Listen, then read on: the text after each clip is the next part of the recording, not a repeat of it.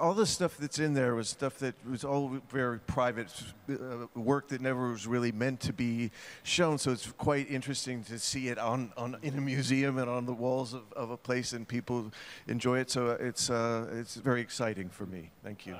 Three, two, one. ゼロ出た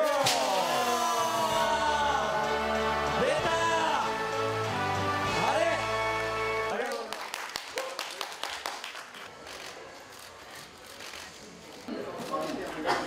はい。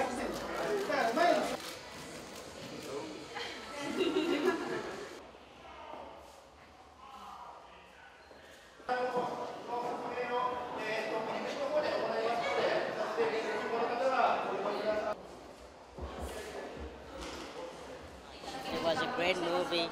It's one of the uh, best features that I have done throughout my film